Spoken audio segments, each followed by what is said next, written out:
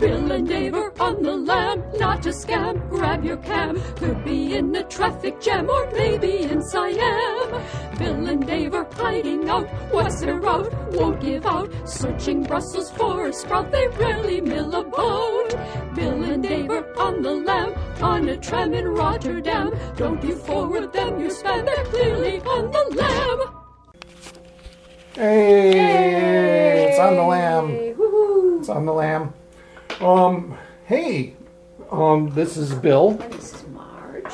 and uh, Daver. Mm, don't see him. Wendy, are you anywhere in the room? Ah, do you see her? Nope. I think it's just Bill and Marge this time. And uh, of course, I knew that. You knew that after I said it. But um, this is uh, going to be a special story arc of On the Lams.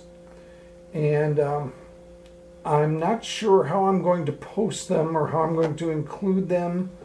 I might um, alternate them. Like right now, as it stands, we put up a new On the Lam, or try to, most every Tuesday of the week. And I don't know if I'm going to put these in on Tuesdays in their own block or if I'm going to alternate them with the ones that Daver and I do, and sometimes Marge, sometimes Wendy joins us, sometimes both of them.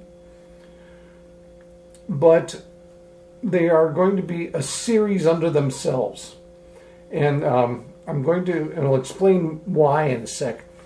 I'm going to call this series of podcasts the On the Lam Key West Story Arc series.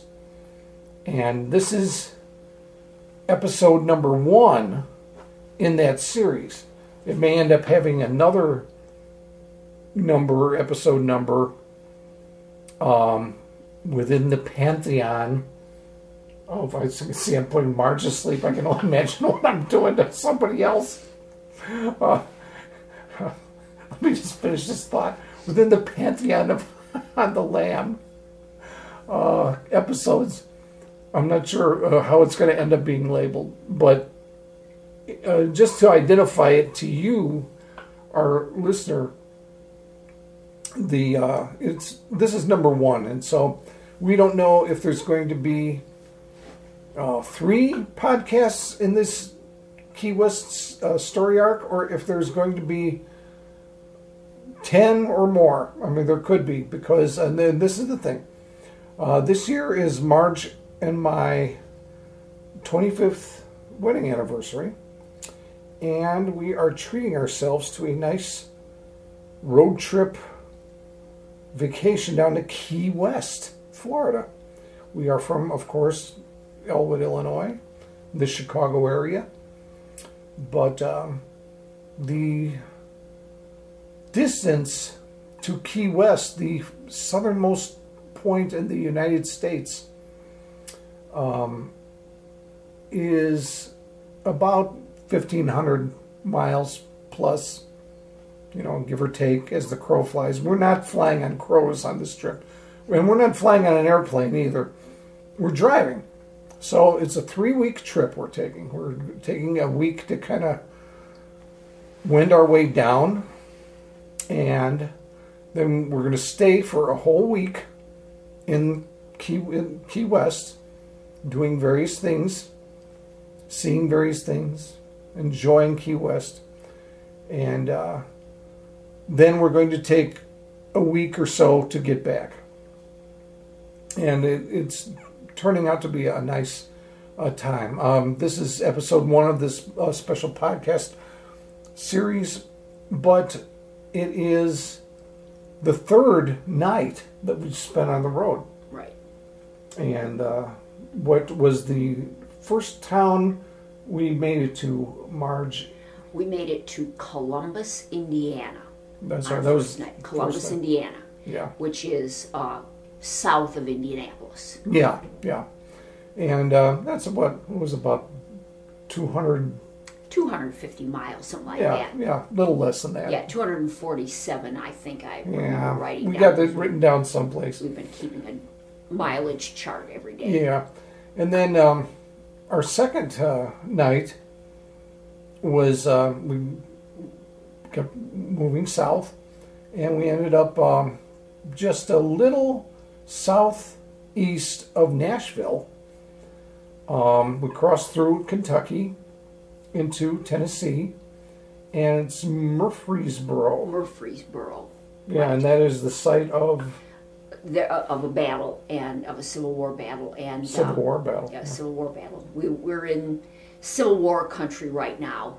Yeah, Um, yeah, Yeah. so that was a battle site, which we, you know, kind of, I, I've been sort of making a little checklist of places might like to visit on the way back if we have time, because we're, we're, uh, trying to get down there by a, down to Key West by a certain day, of course, and then coming back, we won't have to be so rigid about our, yeah, uh, we have a reservation for the right, week at at a this uh, certain night and, uh, an undisclosed, uh, uh, Key West location. but we may disclose it after we've Yeah, there. yeah, we may give it a If shout we have out. a good, if we, give it a shout looks like we'll probably, Yeah. it looks like a nice place. Looks like we'll probably give it. So we were in Murfreesboro, and then tonight, Yes. and, and we can probably we can get back to today's Oh yeah, definitely. We can adventures in a backtrack. minute. But Yeah. uh, we're now in Macon, Georgia, Yes, we really hauled ass today. Mm-hmm. We uh, and it was a it was a scenic drive because we went through the sort of foothills of the Appalachians or Appalachians, if you want to say that. If you're from or Appalachia. and uh, part of the Cumberland land. Mountains were in there too, which which The- are you know if you go a little farther east of here, it becomes the Great Smoky Mountains. right. So it's And all that, that, that same. Mm-hmm. kind of the Tennessee, the the hills of Tennessee, as they say. And uh, Oh. it is. Um, Another place we passed by, by the way, is Mammoth Cave, which we want to. Yeah, we're hoping to catch Mammoth Cave. I've never been to Mammoth Cave, and I, I'd kind of like to to hit that on the way back.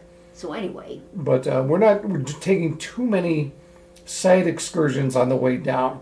We're kind of focused on we have to get, to, to a certain To a place certain by a certain point, by time a certain day, time. and and so. But this is night three, and um, I feel as though this is like we always intended to do a little podcasting um, on this trip, and this is kind of a nice night for the first one. Uh, my personal feeling was, uh, if, well, I'll backtrack a little more. It's been really cold in our area, up in the, the Elwood, Chicago area. It's been unnaturally cold. Uh, The spring has taken forever to begin. Uh, this is the, the end of April in 2013, just to mark it. And winter didn't really start till February this year. And uh, we had a very mild Christmas time, very mild January, and then all of a sudden, February came, started getting really brutal. And it really has stayed brutal right into April. And it's been a very cold April, and you know the, the temperatures are in the 40s. Just a couple weeks ago, we were just telling this waitress in uh, the restaurant where we ate supper that uh, we had to run the water all night so our our pipes wouldn't freeze. And it's April.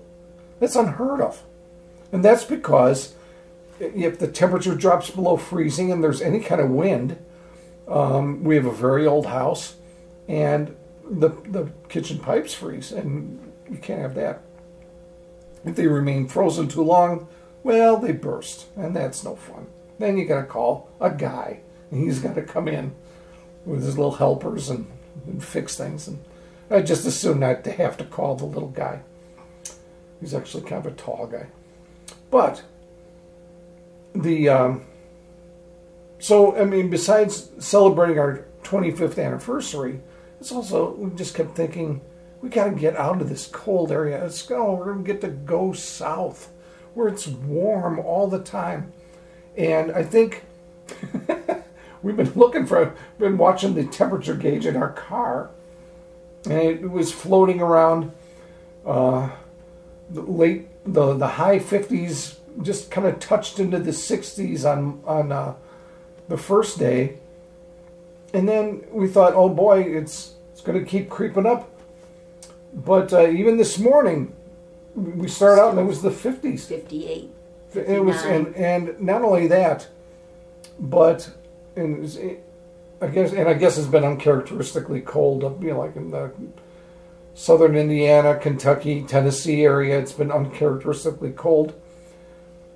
We were watching that temperature, and it didn't start to go up till we started to get south of Atlanta. Right. As soon as we got through Atlanta, temperature just started started shooting up. And when we reached, we're in Macon, Georgia tonight. I, think you mentioned Macon, that. uh-huh. Yeah. And uh, we got out of the car and the sun was shining and it was 83 degrees, 82, 83. And oh, we were driving the last couple miles with the windows down and it was whoa, so, so wonderful. Uh, we didn't remember what it felt like to be in any place. We saw the temperature going up into the 70s and we were, we were having conniptions. Um, but that was the worst of today uh, because we left. Uh, back back up a little bit. Uh, yesterday, the last hour of the drive, we had some storms. It was raining. very rainy. Yeah. Well, today started Today out was just we went through one rainstorm after another, and we were driving through. Well, Bill was driving. I was sitting watching the map. She's the navigator. yeah, and um, I'm gonna open a pop. Excuse me, listener. driving through these mountains in Tennessee, which were pretty. I mean, there were there was one point where we were coming, approaching Chattanooga. That was a really that seemed like a really was, uh, long drive between uh, Murfreesboro, In Chattanooga. Chattanooga. That was That only was- it was only ninety eight miles. That was the longest ninety eight That was horrendous. Because we were going through these mountains, and and they had these. We began to become aware of uh, runaway truck ramps Yeah. that were built into the uh, built next to the road And I- because you know, these trucks lose their brakes on the And we way should down. say it was torrential rain. It was just pouring. yeah, It was. It was, and you couldn't. Visibility but was then bad. you run out of it for maybe you know a couple minutes. It would almost look like it was going to clear up, and then it would start again. Yeah, and, and the terrifying thing is, it's like when you're driving down these downgrades, and, and it's like um, going up into the mountains isn't that bad. You're just kind of chugging up like with everybody else, and in the rain, it, it, it's intimidating. What's scary is when you start going downhill, and you feel like, well, you don't want to ride your brake too much, but it's like after a while you just go, oh my god you know it's like uh, to the people that live in the area they must be used to it. I mean i was getting passed by people and i don't think i encountered too much rudeness on the highway but it it it makes you feel like oh man i am a flatlander because i don't know how to uh, cope with uh, this uh, type of driving and the um, the highway in many spots along there is just dynamited through the rock. I mean, it is just blasted through, and there's these sheer rock, jagged rock uh, walls on either side of you, and the water was just pouring down those pouring things. down the- all these the like spontaneous waterfalls. And uh, I mean, it was scary. really getting kind of. They, we had uh, warnings about falling rock. Of course, they're probably up there Yeah. all the time. But this water was just. and, It and uh, was, it was kind of intimidating. No, know? it was intimidating, and there's a couple places where, the, like, the truckers are usually aggressive drivers. Well, that's a nice word. These, you know, I didn't see too much aggression with the truck drivers in this weather. I mean, there, it was terrifying. And like I said, when Marge Marge mentioned the runaway truck ramps, it's like in the downgrade because gravity is pulling you, and especially in the in the rain, you just feel like, well, I'm going to start hydroplaning at any moment.